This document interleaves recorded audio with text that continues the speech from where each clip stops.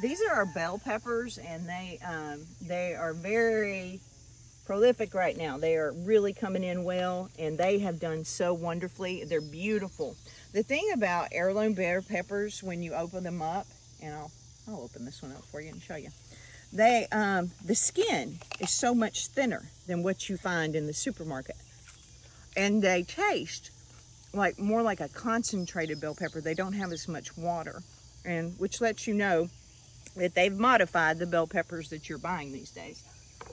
These bell peppers, and they're everywhere, are, um, as I said, were grown from heirloom seeds. And uh, they've kind of merged with the uh, sweet potato plants, which aren't ready to come up just yet. But they, um, they're delicious. But anyway, today we're going to pick off as many as we can of the full grown ones, and they're really beautiful.